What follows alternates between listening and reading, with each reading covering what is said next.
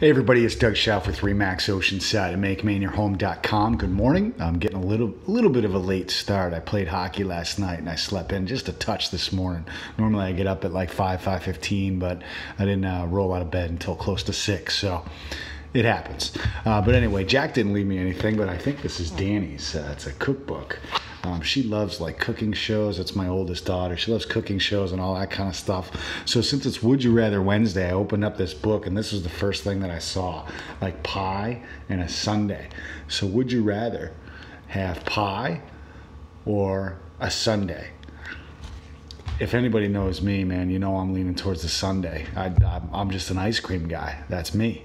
So uh, that's my answer: pie or a sundae. I know that's kind of a, a weird "Would you rather" Wednesday, but I saw this book sitting here and I saw this awesome food, and I said, "Hey, I'd rather have a sundae.